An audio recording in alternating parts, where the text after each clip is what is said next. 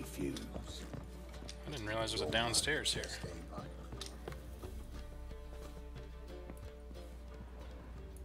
What do we have over here? How about that? It's the flea-ridden mutants. The flea ridden. Join us, please. Ravvy loves company. Oh, these are the guys Look from the Duke. how happy he is to see us. You happy, Ravvy? I'm gonna help you out, Ravvy.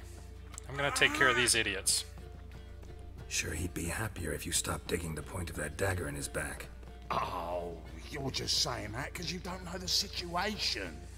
Our mutual friend Ravvy was just about to play for his life, and uh, Oh, you got the card. What else do you want? if you'd just given it up instead of trying to cheat us, we'd be out of your hair already. Hmm. As it is, that's all your fingers broke. So, it seems the Witcher will have to pay for it. Can't I just kill these guys? Sound good? That seems easier. Ah! See? Ravvy's on board. What do you say we add some spice to the game? Raise the stakes. Ravvy's life and the Natali's I think those are the same character models. Fancy that? Ravvy and the guy with the mask on. Sure, man. Let's play. Agreed. And here I thought you'd be no fun at all. Well, fortunately Let's for play, me. I've got a pretty good hand, pretty good deck. In general, you think that being aware of the origin of the products that most of us buy should be an important thing. People have power and a choice, even if it looks faded. Yeah, that's true, man. That's a good point. It doesn't feel often like we have much power or any uh, choice or voice, even. But you're you're not wrong. You're not wrong. I don't see any reason to change our deck at the moment. Unless I could get rid of the Dandelion card. It'll be useful maybe in some some point. Three Reavers. Hell yeah. Um, let's reroll Dethmold probably. Another Siege Expert? I don't think I need two Siege Experts. Okay. We didn't get any card draw. That's rough when we don't get card draw. Or Commander's Horn or our decoy card. What's his power? Torrential Rain. Okay.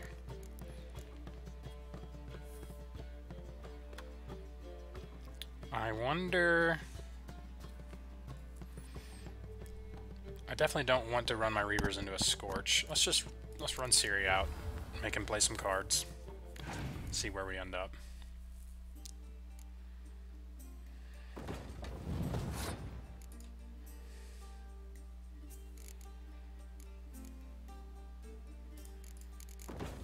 See if that baits a Scorch.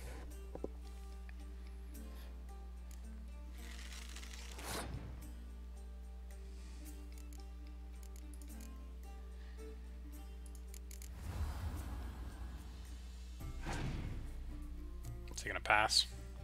No, he's gonna keep playing. I might pass, though, because I'm up big. He's gonna have to lay at least two cards to, flip to beat me here, and he's gonna go down to four. So I'm gonna pass.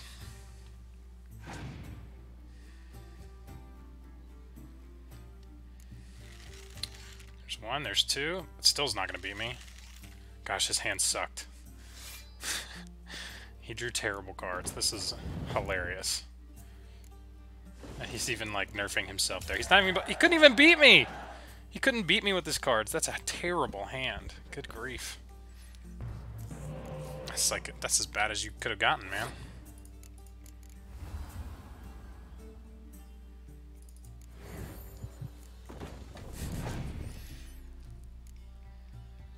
It's a really garbage hand. That doesn't even affect Yen, that's funny. He drew like the worst cards.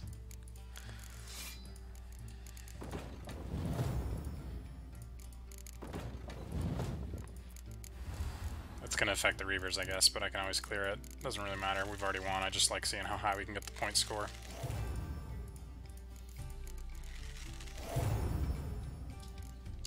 The triple Reavers is pretty good. Imagine having a Commander's Horn on that. The guy laid nine cards and couldn't beat three of mine, or four of mine. Yes! Curb your enthusiasm, mate. And sit still or you'll hurt yourself. Curb your enthusiasm. Like the show? But he won. So, now we'll play something else. What? Sword fights? I'm great with those.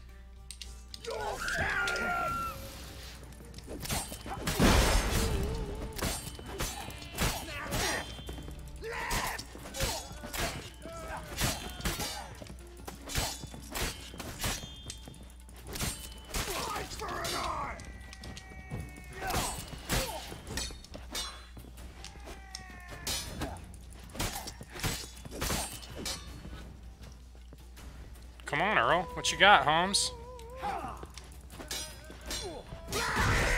Come on, come closer.